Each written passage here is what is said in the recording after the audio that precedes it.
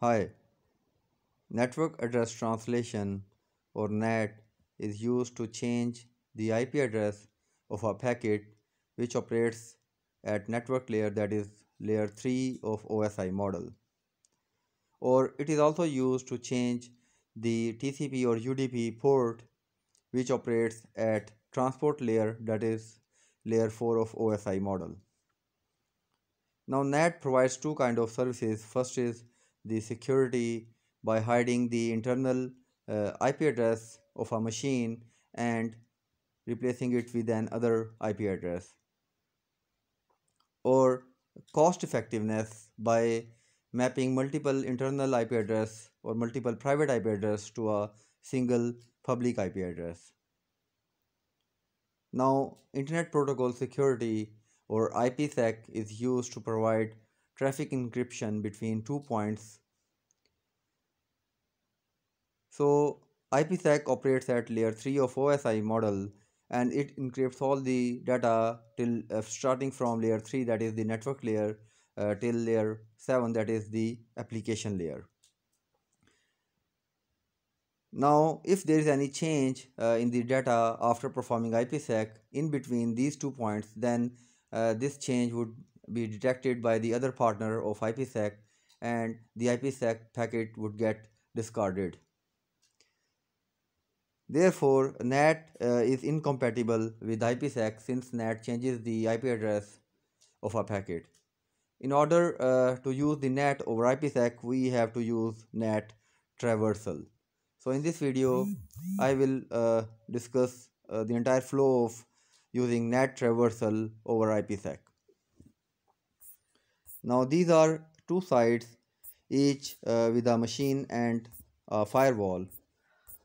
Now the network between these uh, two sites is internet, therefore it is an untrusted network. And we have to establish a in, uh, IPsec VPN between uh, these two sites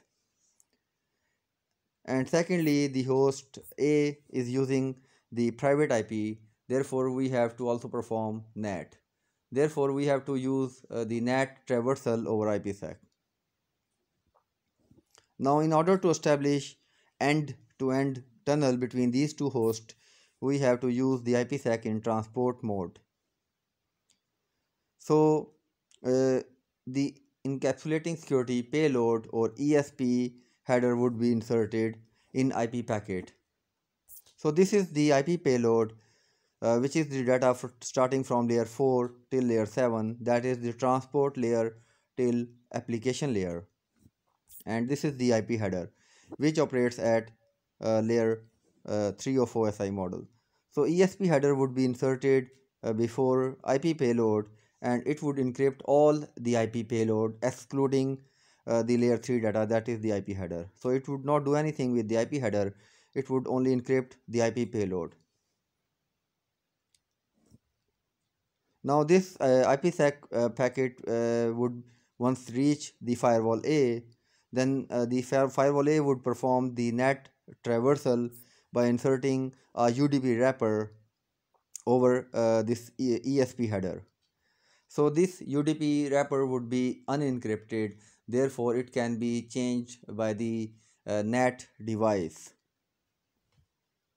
So there won't be any change in the uh, primary IP payload data, only the UDP wrapper would get changed. So this UDP wrapper would use the UDP port 400, uh, 4500 which would indicate uh, the other firewall that uh, this IP packet or IPsec packet is using the UDP wrapper for NAT purposes. So the other firewall, once the IPsec packet would reach the other firewall, the other firewall would unwrap this UDP wrapper and then it would process uh, the IPsec packet to host A, host B. Now we can also establish another IPsec VPN in tunnel mode uh, which would tunnel the transport uh, mode VPN inside it. So by doing uh, that we will insert an authentication header before IP header. So this authentication header uh, would uh, also encrypt the IP header. So it would provide authentication to the IP header.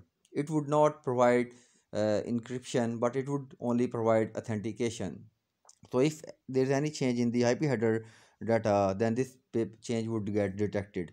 So since the firewall A and firewall B are establishing this uh, tunnel uh, VPN to tunnel the transport layer VPN inside it, therefore each firewall uh, would know that they are also using the NAT uh, traversal.